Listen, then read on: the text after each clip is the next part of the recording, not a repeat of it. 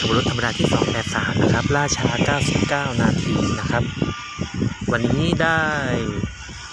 ตัวคือควีนแลนด์มานะครับมันไม่เคยมานะครับ ออกจากชลบุรีมาแล้วนะครับผม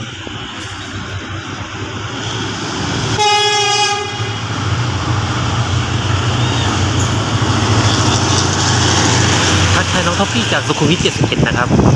มาเยือนนะครับผม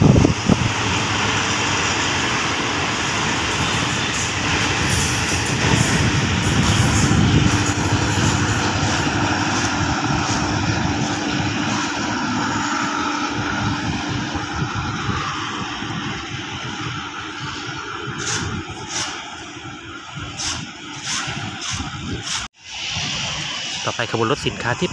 841 ICD ลาดกระบังท่าเรือแหลมฉบังครับตีคู่มากับขบวน 283 นะครับผม